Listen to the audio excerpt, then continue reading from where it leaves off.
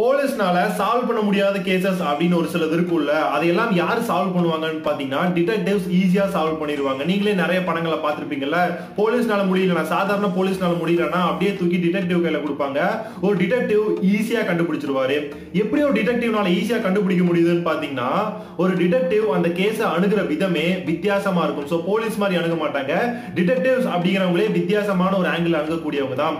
So அந்த மாதிரி பண்ற ஒரு காரணத்தினால தான் எல்லா கேசஸையும் அவங்களால ஈஸியாக முடிக்க முடியுது.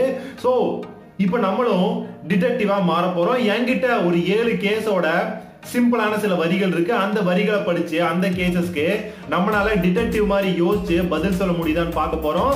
என்னோட பேர் பிரகாஷ். நான் நல்லா இருக்கேன். நீங்களும் நல்லா தான் இருக்கீங்க. வாங்க நம்ம டிடெக்டிவா மாறலாம்.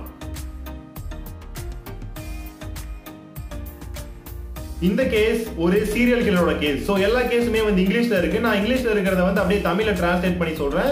சைட்லயும் அந்த கேஸ் என்ன அப்படிங்கறத டிஸ்ப்ளே பண்றேன்.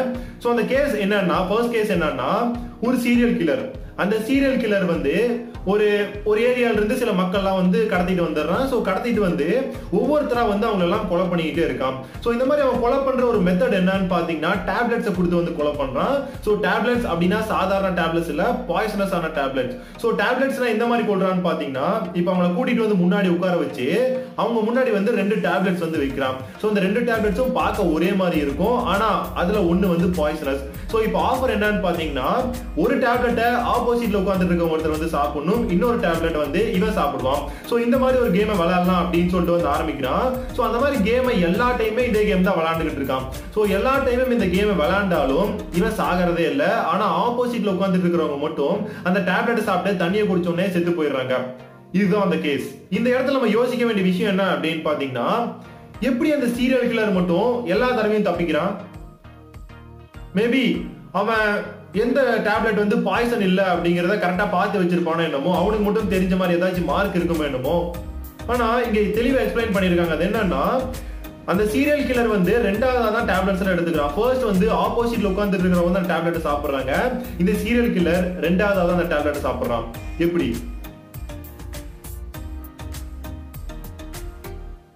இப்போதான் நம்ம டிடெக்டிவ் மாதிரி யோசிக்கணும். ஸோ டிடெக்டிவ் எப்படி யோசிப்பாங்க அப்படின்னு பார்த்தீங்கன்னா எல்லா ஆங்கிளையுமே பார்க்க ஆரம்பிப்பாங்க. ஸோ எல்லா ஆங்கிள் அப்படின்னா அங்கே அவங்க சொல்லியிருக்கிற எல்லா வார்த்தைகளையுமே வந்து நம்ம அலசணும். எந்த மாதிரி அலசணும்னு பார்த்தீங்கன்னா ரெண்டு டேப்லெட்ஸ் ஸோ டேப்லெட் போட்டிருக்காங்க. இங்கே முக்கியமாக ரெண்டு பேருக்கும் காமன் இல்லாத விஷயங்கள் என்ன? காமன் இல்லாத விஷயங்கள் என்னன்னு பார்த்தீங்கன்னா அவன் டேப்லெட்டை மட்டும் சாப்பிட்டதாங்க மென்ஷன் பண்ணியிருக்காங்க. ஆனால் ஆப்போசிட்ல உட்காந்து இருந்தவங்க டேப்லெட்டோட சேர்த்து தண்ணியும் வந்து குடிச்சிருக்காங்க. அப்போ மேபி அந்த டேப்லெட்டும் தண்ணியும் ஒட்டுக்கா போச்சுன்னா ஒட்டுக்கா நம்ம உடம்புக்குள்ள போச்சுன்னா ரெண்டுமே சேர்ந்து ரியாக்ட் ஆகி பாய்சனா மாறி இருக்கலாம் இல்லையா? சோ இவன் என்ன பண்ணிருப்பான் அந்த கில்லர் மட்டும் சீரியல் கில்லர் என்ன பண்ணியிருப்பான்னு பாத்தீங்கன்னா வெறும் டேப்லெட்டை மட்டும் சாப்பிட்ருப்பான் அதனால அது பாய்சனா மாறி இருந்திருக்காது. சோ இந்த கேள்விக்கான பதில் இதுதான். கேஸ் சால்வ் ஒரு நாள் கேத்தி அப்படிங்கிறவங்க வந்து போலீஸ் ஸ்டேஷனுக்கு போறாங்க. போலீஸ் ஸ்டேஷனுக்கு போய் ஒரு கம்ப்ளைண்ட் வந்து கொடுக்குறாங்க. அந்த கம்ப்ளைண்ட் என்னன்னா எங்க வீட்டுல வச்சிருந்த டைமண்ட் பிரேஸ்லெட்டை யாரோ லாக்கர்ல இருந்து திருடிட்டாங்க அப்படின்னு ஒரு கேஸ் கொடுக்குறாங்க. இந்த கேஸ கேட்ட போலீஸ் என்ன பண்றாங்கன்னு பாத்தீங்கன்னா கேத்தி கிட்ட சில இன்ஃபர்மேஷன்ஸ் எல்லாம் வந்து வாங்குறாங்க. அதுல அவங்க சொல்ற விஷயம் என்னன்னு பாத்தீங்கன்னா யாரோ ஒருத்தங்க எங்களோட வீட்டோட ஜன்னலை உடைச்சிட்டு உள்ள வந்து திருடிட்டு போயிட்டாங்க அப்படின்னு சொல்றாங்க. சரி அப்படின்னு சொல்லிட்டு போலீஸ் என்ன பண்றாங்கன்னு பாத்தீங்கன்னா கிரைம் சீனுக்கு போவாங்கல்ல. சோ அந்த மாதிரி கிரைம் சீனுக்கு போய் பார்த்துருக்காங்க. ஸோ அந்த மாதிரி கிரைம் சீனுக்கு போய் பார்க்கும்போது அவங்களுக்கு என்னெல்லாம் தெரிஞ்சிருக்கு அப்படின்னு பார்த்தீங்கன்னா லாக்கர் வந்து உடைக்கப்பட்டிருக்கு.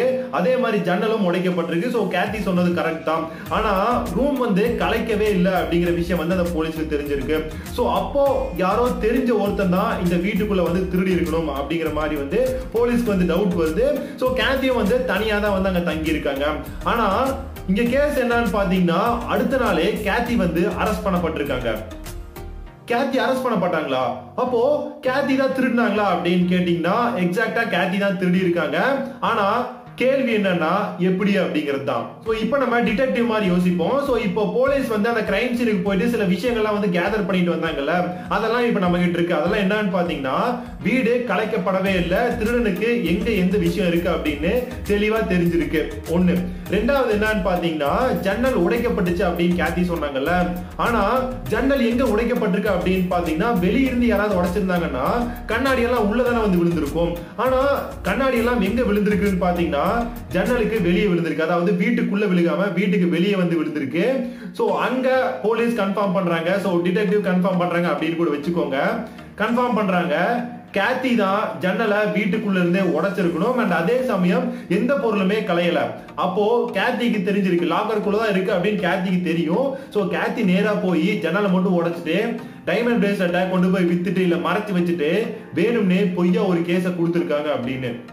கேஸ் சால்வ் ஒரு லேப்ல கெமிஸ்ட் வந்து இறந்து கிடந்திருக்காரு. ஸோ அந்த கெமிஸ்ட் வந்து இறந்து போனதை பார்த்துட்டு போலீஸ்க்கு வந்து கால் பண்ணி சொல்லியிருக்காங்க. ஸோ இந்த மாதிரி கெமிஸ்ட் இறந்து போயிட்டாரு அப்படின்னு சொல்லிட்டு போலீஸும் வந்து அந்த கிரைம் சீனுக்கு வராங்க. ஸோ கிரைம் சீனுக்கு வந்து பார்க்கும்போது அங்க எந்த விதமான சின்ன க்ளூ கூட இல்லை அப்படின்னு சொல்றாங்க. ஆனா இந்த கொலையை செஞ்சவன் எந்த மாதிரி ஒரு கொலைகாரன் அப்படின்னு பாத்தீங்கன்னா ஜோடியா கில்லர் அப்படின்னு நீங்க ஒருத்தரை பத்தி கேள்விப்பட்டிருப்பீங்களா ஸோ ஜோடியா கில்லர் எந்த மாதிரி கொள்வான்னா அவன் அவனோட அடையாளத்தை விட்டுட்டு போற மாதிரி ஏதோ ஒரு விஷயத்தை வந்து அந்த சிம்பிள் மாதிரி வந்து விட்டுட்டு போவான்.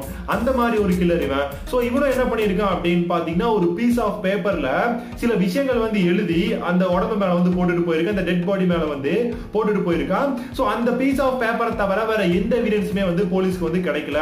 ஸோ அப்போ அந்த பீஸ் ஆஃப் பேப்பரை எடுத்து இன்வெஸ்டிகேட் பண்ண ஸ்டார்ட் பண்ணுறாங்க அந்த பேப்பரில் என்ன எழுதிருச்சு அப்படின்னு பார்த்தீங்கன்னா nickel carbon oxygen lanthanum sulphur so இந்த மாதிரி கெமிக்கல்ஸோட பேர் மட்டும்தான் அந்த பேப்பர்ல எழுதியிருக்கு. லைனா இந்த ஆர்டர்ல வந்து எழுதியிருக்கு.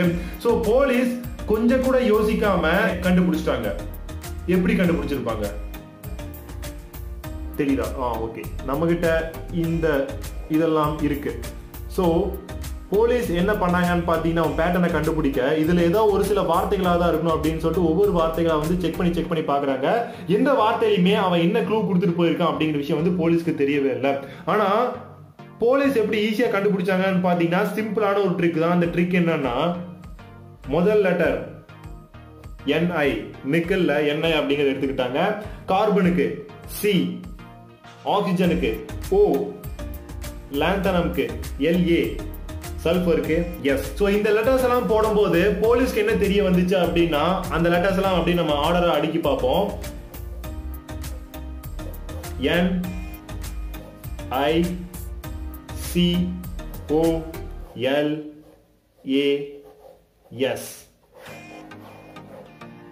தூக்குடா நிக்கோலஸ அப்படின்னு சொல்லிட்டாங்க. ஸோ இந்த மாதிரி தான் போலீஸ் வந்து கண்டுபிடிச்சிருக்காங்க. இந்த கேஸ் உண்மை அப்படின்னு நினைச்சிடாதீங்க. இந்த கேஸ் வந்து சும்மா ரிடில்ஸ் மாதிரி கொடுப்பாங்கல்ல அந்த மாதிரியான ரிடில்ஸ் தான்.